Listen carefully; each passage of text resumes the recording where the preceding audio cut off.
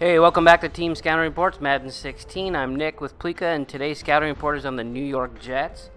Uh, the Jets are 76 overall, that's 25th in the NFL and 12th in the AFC. Okay, quarterback for the Jets is Ryan Fitzpatrick. He's an 80 overall. Here he is finding his third receiver, Chris Owusu. He's a 69 overall. His speed is 92, as you can see, he's pretty damn fast.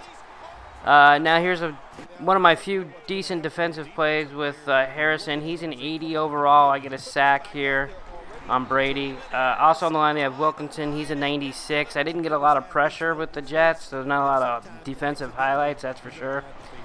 Here I am going deep to Brandon Marshall. Now he's a 90 overall. The Jets have two guys over 90. Uh, Brandon Marshall's a 90, and then their center, Mangold, he's a 95.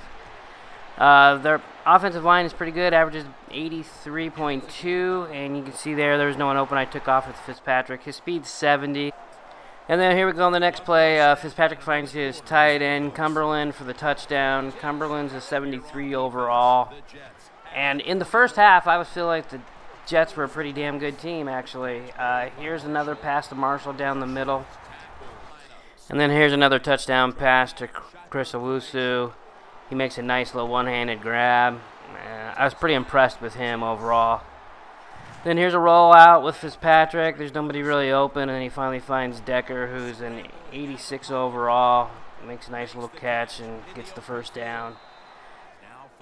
And then I had a little trouble getting Chris Ivory going. My fullback kept getting in my way when I was trying to run there. I actually let him pass, and he goes along for the touchdown. I did end up getting over 100 yards rushing with Ivory. And here I get my second sack of the game on Brady, and he basically runs into the defender. Um, and you got Revis at 97, Cromartie 85.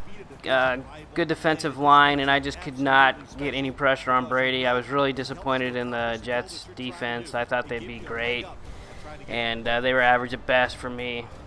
All right, thanks for watching.